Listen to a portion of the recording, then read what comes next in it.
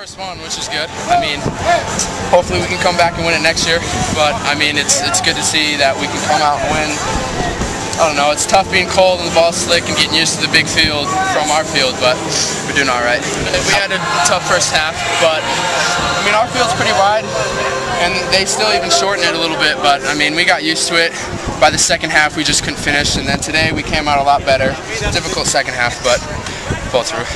What motivated you to get, like, to get you guys going? I mean, you guys were down uh, 1-0 early. I mean, it's the first one. We've never played Juan Diego. We wanted to prove something. I mean, we like playing new teams, so pretty much that. Was it weird playing from behind? Uh, yeah. Um, I think that's the first time this whole year that we've played from behind.